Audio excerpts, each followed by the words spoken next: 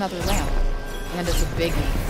I would imagine whatever illusion it's generating affects the entire. Well, that explains the bouncer. Let's get this over with, shall we?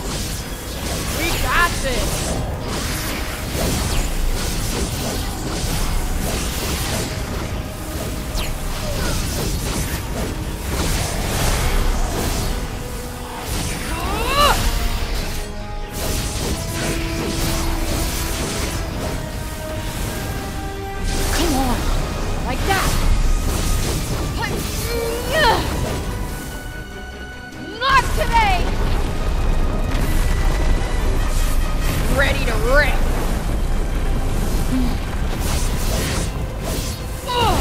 Hurry, they'll be back any moment now. That's it! Having her illusions shattered